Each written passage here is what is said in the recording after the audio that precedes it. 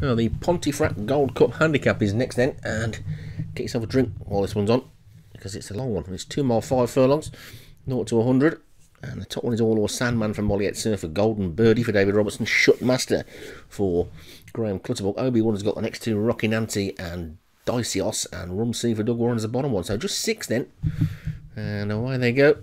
Six of them over two miles and four furlongs.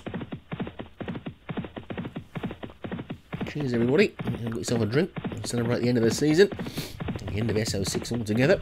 And Rum C is the leader. From Shutmaster in second, Golden Birdie is third, and All or Sandman and the Obi-Wan pair at the back as we watch the synchronised dancing going on in the crowd. There's going to be a two or four furlong race, two five furlong not really much going on, so they're practicing their synchronised clapping and waving, and they'll be on the next Spice Girls tour.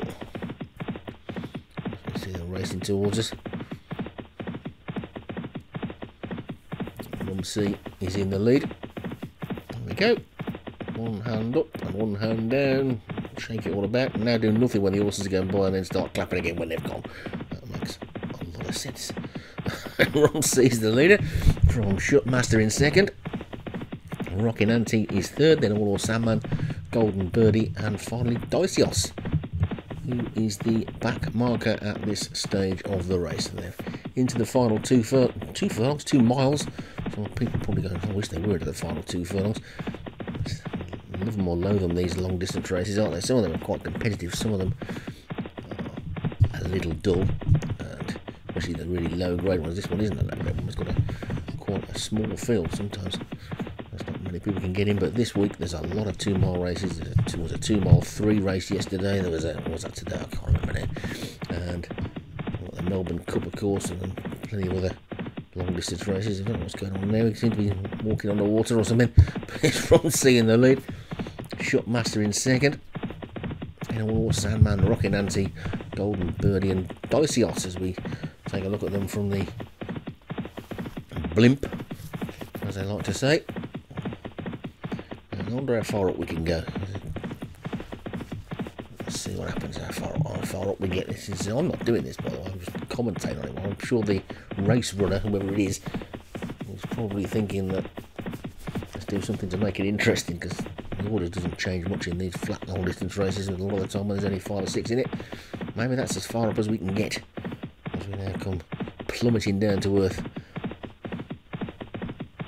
C is still the leader, as you can see.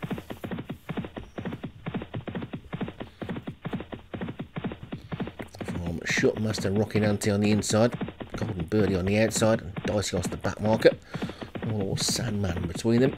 And still Rumsey in front. As they race down towards the final mile. Passing that mile point shortly we get a little flash of the water again there, and rum Rumsey's in the lead. And Rockin' Auntie now coming up on his outside, and Rockin' Auntie might have just poked his nose in front. Rocking Auntie from Rumsey, and Shutmaster and Golden Birdie, all or Sandman and Dicios at the back. So it's an Obi-Wan bookending race at the moment then. With Rockin' Auntie the leader as we go back up in the air again. It's like somebody's putting the sandbags out of the balloon and up we go and then putting them back in again. Letting the in or however they do it. How you go down, I'm not sure go up, I think sort of put a load of hot air into the balloon there or something, and you let it out to come back down again. Anyway, I'm not going to go up here anyway, it doesn't really matter. We've got the back now, Rum C's been pulled up by looks of things. So, Rum C is being pulled up, and he's out of the race, and Rockin' Auntie is still the leader. That means that all five of these are going to get some last week of the season cash and all or Sandman has suddenly made his break for the front to try and claim the biggest pot of the lot. And it's all or Sandman in the lead from Rockin' Auntie second, Golden Birdie is third, Shotmaster is fourth and Dicey Oss is fifth. And to the final three furlongs now then all or Sandman. All or Sandman is in the lead and we've got Jockey Camp for some reason on a, on a horse that isn't there. So sure what's going on there. Sandman's in the lead, absolutely no idea how close they are. Oh, here we go. It's all or Sandman in the lead then from Rockin' Auntie in second, then Golden Birdie and Dicey as they come down towards the final furlong then. And All or Sandman is in the lead, and I think the star of the race was probably the racer who was doing all sorts of weird and wonderful things. And up towards the line, All or Sandman takes it for Molly at Surfer. Obi-Wan's going to be second and third, rocking Auntie-Dicey then Golden Birdie. Then Shutmaster and Run C was pulled up, so that's the Pontefract Gold Cup then. And it's gone to Molly at Surfer with All or Sandman, Rocking Auntie second Obi-Wan, Dicey third Obi-Wan, Golden Birdie fourth David Robertson, and Shut Master for Graham Clutterbuck was fifth.